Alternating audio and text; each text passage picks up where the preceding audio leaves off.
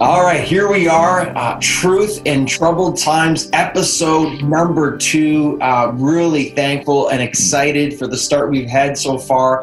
And again, our intention and desire is to encourage the body of Christ with biblical truth within difficult times and Holy mm-hmm. Spirit given wisdom as well within the current crisis that we find ourselves in. Things are tough and difficult for sure, but the Lord is moving, mm-hmm. and we have so much uh, to thank him for and to look to him, obviously, that he provides for his church. So, this segment, I am delighted again today to reintroduce to so many of our church family. You will be well aware. Uh, Dr. Crawford Loritts has been with us in person several times as a church. He is now joining me again from his home outside of Atlanta, Georgia. He is the senior pastor, again, of Fellowship Bible Church in Roswell, Georgia. He has been the author of numerous books and he's been preaching the gospel. I read this, Crawford, I love it. Preaching the gospel across the world since 1972. Just um, for mm me, church family, you have to know uh, a huge influencer in mm my life, mm um, someone that God has mm used and um, I'm just so blessed and thankful for an emphasis on character and God's word and leadership, mm. and get to share that with you in person here today. So, Crawford, thanks for um, thanks for listening to all that. But I mean it. It's true. Oh my. And for joining us today. Thank you. Well, thank you, Robbie, for having me, man. It's always a joy to be with you. All right, great. So yeah. again, the idea is to encourage the church. Got some questions I want to ask you today. These very yeah. unusual times we find ourselves in. Maybe we'll start off here, Crawford. Just a, a personal update. How are you and your family doing right now in the midst of these again these unprecedented times? Well, you know, the top line answer we're doing we're doing very well, and I, am grateful for that. Uh, people are praying for us. Our kids remind me and and their and their mother that. Uh, we're in that uh, vulnerable age bracket, so they're always uh, checking in on us. And right. but we're doing well. Our church is uh, on balance, doing well. Um, you know, it's a new normal. People are loving one another, checking in with each other, and uh, in in that sense, this has uh, really been a blessing in in that regard. I mean, uh, so we're we're we're doing we're doing well. You know, uh, there's some people who are struggling, obviously, in our church, but uh, as is the case in most. But on balance, we're doing very well. Okay, good. So we're we're up here in obviously Toronto, Canada. Anything you want to let us mm-hmm. know about being in Atlanta, Georgia, even in the southern states there, for us to appreciate your context? Yeah, we're you know we're in the southeast, and and uh, Georgia has been hit pretty pretty hard. Obviously, not as bad as uh, say New York or, or or Washington State or you know the West Coast with California, but you know, so our governor has still, uh, we're still involved in the shelter in place for another, another couple of weeks or so. Mm-hmm. But, uh, you know, we're, we're doing, we're doing okay. I mean, it's the southeastern part of the United States and, uh, people are getting antsy right now, wanting to hurry up and get back. The impact, obviously, economically, um, on the southeast, the same as the rest of the country virtually. And so, um, that's where a lot of the anxiety is. Yes, yes, and understood and felt really mm-hmm. across the world. It's just yeah, such incredible times. As pastors, we never these were classes we never took in seminary, right? Absolutely, man. Yeah. yeah, yeah, you've got a yeah. lot of ministry, and here we are. Um, I've always loved, like, loved your heart for leadership and character, and just an instinct again um, as the Lord has led you. It's been so used. What what would you say is maybe in just inside? What is your personal urgent message to believers in Christ right now during this crisis? Well, I, you know, actually, there's probably five bullet points underneath that. Um, these are things that God's been saying to me. Number one is this rest in his care. Rest in his care. And uh, the only two options, we only have two options. One is either frustration and meltdown, right? Uh, or to really believe in our hearts the Bible that we've been talking about and listening to. And so we have a Father that cares for us. So rest in His care. And I think, secondly, is to sit in His presence. Mm. Really, to sit in His presence right now. Uh, to make sure that we're prioritizing hearing the voice of God, spending time in His Word, absorbing it, but also pouring our hearts out and believing prayer. And I think, uh, thirdly, is searching our hearts. Right now, this is a call to align our hearts with God. Uh, um, there's sin in our hearts and lives sometimes that's been accumulating that we need to address and take care of. There are idols that we've been holding on to that's come to the surface that we've got to get rid of, and we've got to make Him first. So let's search our hearts. And I think, fourthly, it's a love and care for others. Uh, realizing that during a time of crisis, we've got to band together and we can't be petty and we have to reach out and love and, and, and let people feel the love and care of the Lord Jesus. And I think finally, it, uh, for me, it's underscoring uh, doing what matters most, right? I mean, sharing the hope and the love of the Lord Jesus, focusing our lives on the gospel because that matters. People are dying. People are dying. And so, what really matters, and that is the saving power of Jesus Christ yeah. and making sure that we prioritize that. So, those are the five things that just keep recycling through my head, my mind. Yeah. Mm-hmm a great message to be able to send to your people, and those who are around you. And again, I have found too that so many are looking to be led in the exact things oh, yeah. there right there. Yeah. yeah. Um, so important in this time. So God help us in that. Uh, as you touched on right there, for many right now, um, stress has never been greater. Um, mm-hmm. The stress is surrounding health issues. There's many people, as, as you kind of touched on a little bit, um, the fear of death itself um, the stress mm-hmm. practically jobs unemployment the stress of the future and kind of what's unknown uh, there too how how are you counseling your church how are you counseling the people that you are engaged with in kind of faith over fear during this crisis well it's a moment by moment uh, thing you know i preached a message here a couple of weeks ago um, entitled resting in his care from that great passage from uh, uh matthew 5 um, um, no, it's sorry, I just this misquoted. That's Matthew six, resting in His care. Uh, you know, and there, there are three words that we all have to keep coming back to. One is that we have a Father, a Father that cares for us, and that we have to choose not to be anxious, but to look to our Heavenly Father that really cares for us. If He clothes the lily of the field and and He feeds the birds, we're much more valuable and God has many ways to meet our needs. Doesn't mean that we won't struggle some, but He has many ways of meeting, meeting our needs. Uh, the stock market, the world economy, and that kind of thing. God's provision is not conditioned by those circumstances. And I think, secondly, uh, faith. You know, faith is a choice. Faith is is is uh, uh, uh faith is defiant. It means that if our Father cares, and I've got to really believe that He cares, Mm-hmm. And that somehow or another, I don't know how it's going to work out, that he's going to do that. And then I think the other word is first. Seek first the kingdom of God and his righteousness, and all these things shall be added to you. Making sure that we are prioritizing him. Yes. Now, I want to loop back around and say that now is the time to experience the synergy of the body of Christ, to humble ourselves. Mm. Some of us are experiencing anxiety because we're too proud to ask for help. And mm. God has provided that help through other brothers and sisters in the body of Christ.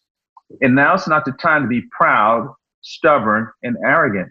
Mm. We, we have to reach out and let our needs be made known. And that might be the way in which God provides. Mm. And I think we need to rush toward one another as the body of Christ. Uh, we need to do that and not be isolated, but intentionally engage in asking people what their needs are.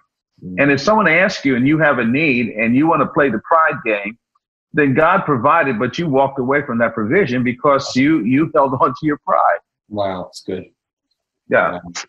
Well, okay. So, uh, church family, did you just hear that? Because that's that that's the word right now. That's so key. Is that humble ourselves enough to receive the help that we know that we need internally. So, Robert, thank you for that word and for that direct mm-hmm. challenge. Mm-hmm. Again, so many people listening right now, thinking that you just heard it, man. The Holy Spirit spoke mm-hmm. to you through that, and uh, you need to do something about that. Lord, help us in that as well. I love that.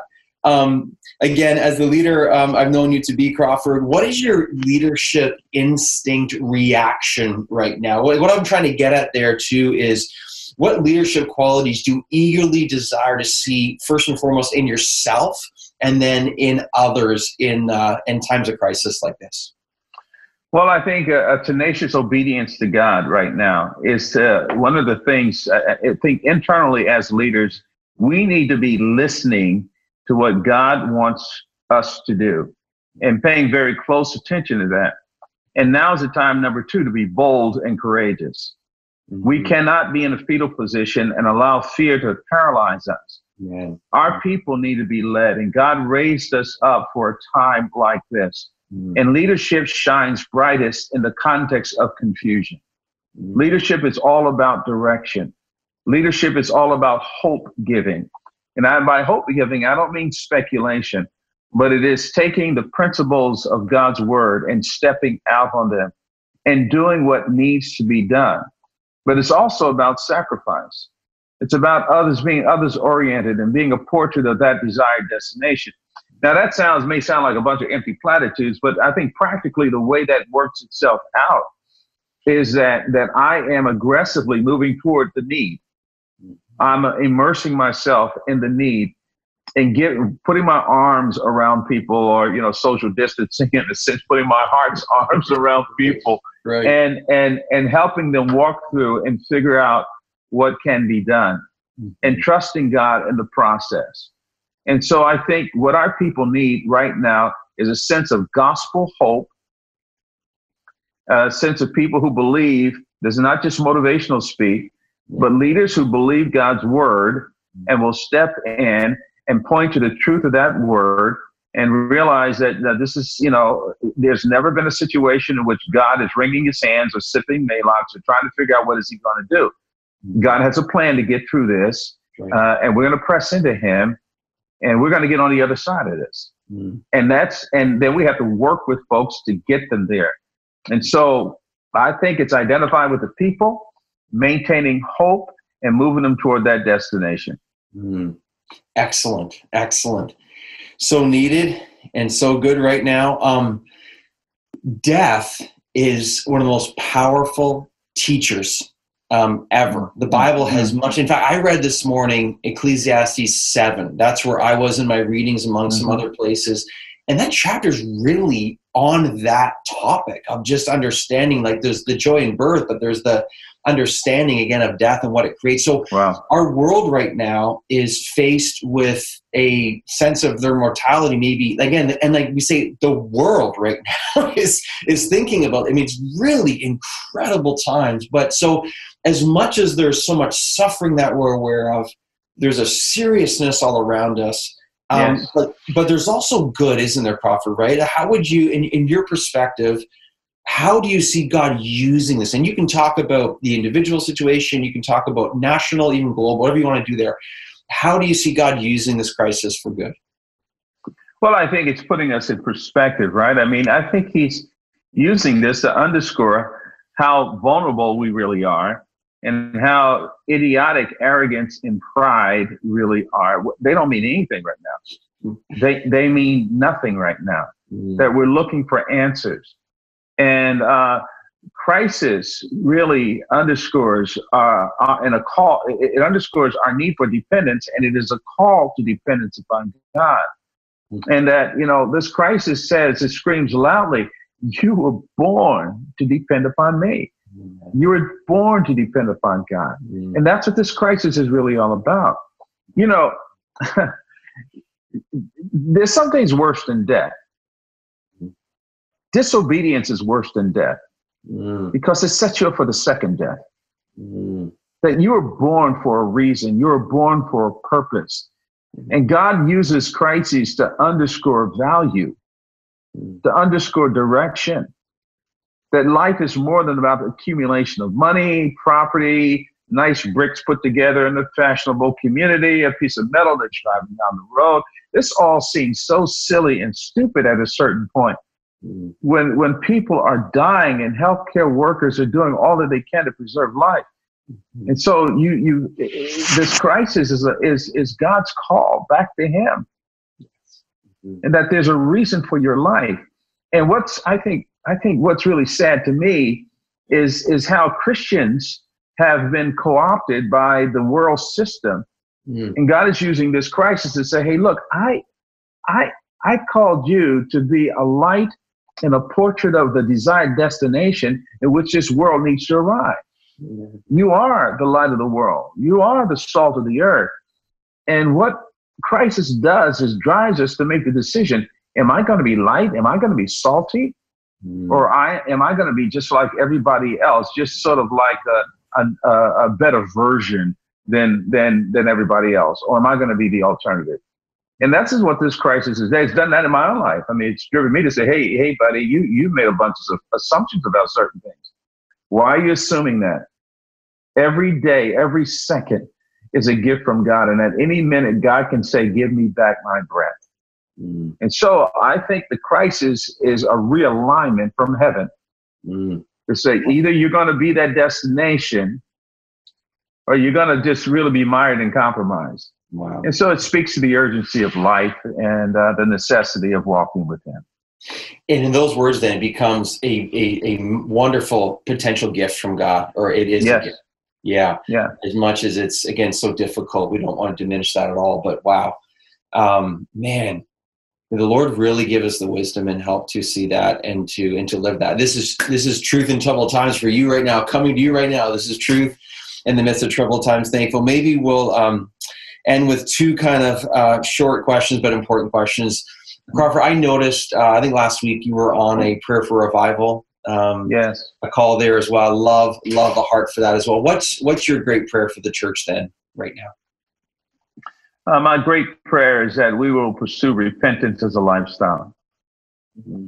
Uh, none of us, you know, we're not perfect. We don't live in heaven and board down here, as the old line goes. I mean, uh, there's there's stuff in all of us, and my great prayer for the church is that we will we will be urgent about uh, taking care of uh, of our sinful failures. Uh, that we will not be self righteous uh, that it's all of us and that we will embrace that and uh, and that we'll experience the life of our savior yes that jesus will become real to us.